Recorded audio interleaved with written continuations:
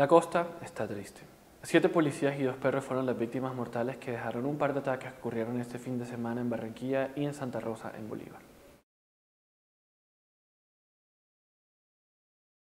Hola, yo soy Willy Varela y esto es el Parloteo del Heraldo.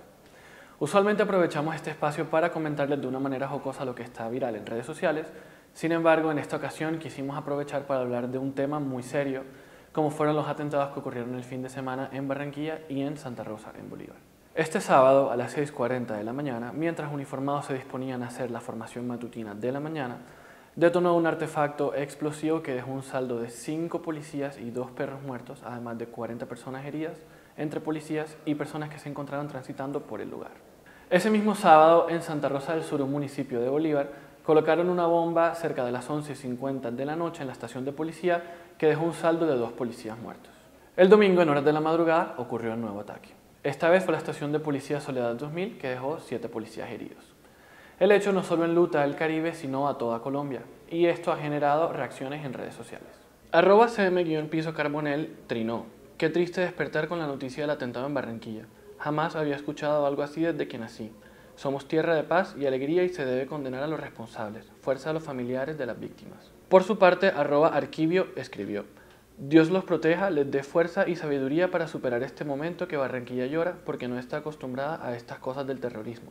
Pero hay que despertar, ya no es la vía de paz que conocimos desde que nacimos. Algunas personalidades públicas condenaron los ataques terroristas del fin de semana. El samario Carlos Vives compartió el siguiente mensaje en su cuenta de Twitter. La gente que lanza una granada para matar gente a lo mejor sabe que la justicia del hombre es imperfecta, pero no sabe que la justicia divina es implacable. Pobres. En su cuenta de Twitter el padre Alberto Linero se manifestó y escribió, Pido a Dios de fuerza y consuelo a las familias de nuestros policías heridos y fallecidos. Firmeza a las autoridades para aplicar justicia. Solidaridad a todos para hacer una sociedad equitativa y amor en el corazón para seguir viviendo. Organizaciones internacionales como la OEA, la ONU y Human Rights Watch también rechazaron los atentados. La OEA, a través de MAPOEA, escribió, Enérgico rechazo a atentado en estación de policía San José de Barranquilla. Nuestra solidaridad con familiares de las víctimas y deseo de pronta recuperación a los heridos. ONU Derechos Humanos trinó. ONU Derechos Humanos lamenta el homicidio este fin de semana de cinco policías en Barranquilla, dos en Santa Rosa Sur del Sur y uno en Tumaco. Reiteramos obligación de respetar derechos humanos y normas del derecho internacional humanitario expresamos nuestra solidaridad con las familias y amigos de los policías muertos.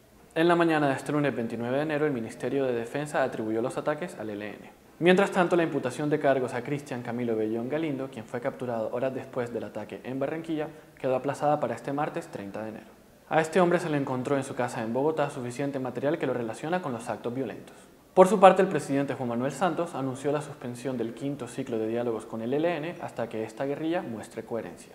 El quinto ciclo de conversaciones se instalará cuando el ELN haga compatible su conducta con la exigencia de paz del pueblo colombiano y de la comunidad internacional. Este hecho no solo ha causado pánico por lo sucedido, sino porque personas inescrupulosas se han dedicado a compartir audios y cadenas falsas de otros posibles ataques.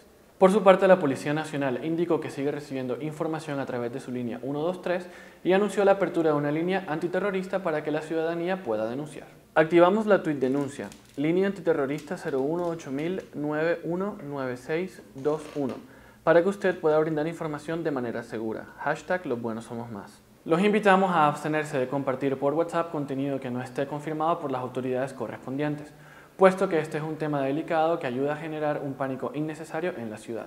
Barranquilla necesita estar más unida que nunca. Y hasta aquí el parloteo del Heraldo. Recuerden seguirnos en redes sociales como arroba el Heraldo en Twitter e Instagram y como el Heraldo Barranquilla en Facebook.